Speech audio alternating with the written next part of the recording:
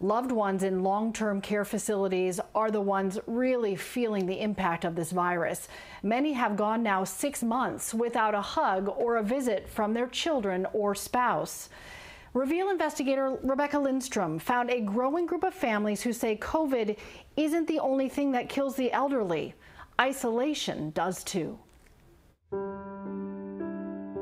Mary Phipps says the pictures tell the story. This is her 96 year old mother right before COVID triggered the shelter in place order that shut down long term care facilities to visitors. And this is her mother now. It has been six months since Phipps has been able to give her mother a hug. That was March the 11th. An abrupt end to the visits that used to come three or four times a week. When we would leave, we would always hug her, tell her we loved her, and she would always want to know when we were coming back. We talked with Phipps just feet away from the nursing home where her mother lives in Cartersville. She has no idea you're right here. No, and it's it's it's a horrible feeling. She's tried to visit her mom at the window.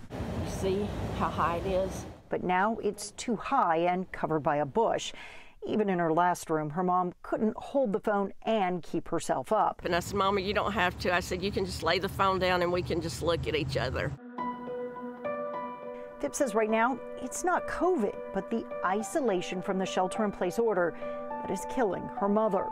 Not only is she unable to visit, but residents don't even get to see each other. Activities are canceled, the dining hall remains closed. When you look at these two different pictures, what what do you see? I see my mother and then I see a stranger. I mean, I just I can't stand to see her like that. It's just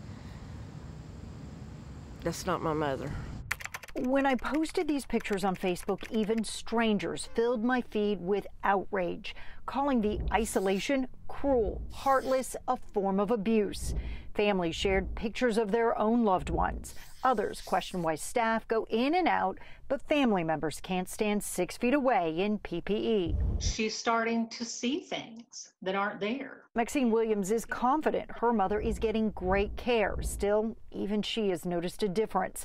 That's why in July, she formed Georgia Caregivers for Compromise, a group now with nearly 800 members. And I felt like we needed a different approach than being totally isolated.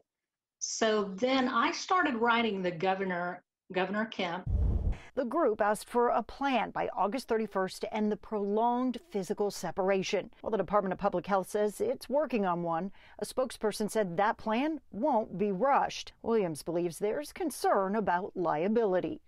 If you're not going to do something, if you won't let anyone else come up with a solution, then you are the liability. But there is reason for concern. 84% of those that have died in Georgia with the virus were over the age of 60. 39% were living in long term care facilities. They feel like they've been left to die alone. And the unfortunate part is they are dying alone. They are literally dying alone. In the responses that have been received, the governor points the finger back at the private sector. The head of the Department of Public Health says the governor's order only prohibits indoor visitation. We still have uh, high rates of disease that I don't believe it's safe to have in in in room visitation. Outdoor visits, she says, are fine. But with active COVID cases in one third of Georgia's long term care facilities and nearly 100 counties with a positivity rate above 10%, the Georgia Healthcare Association says there simply isn't enough staff to coordinate and supervise visits. How are you feeling this morning? Well, I feel all right. Phipps and other family members call her mom every day. She says it's just not the same. I want to bust the door down and go in and see her. Okay, God bless. God bless you. Bye bye.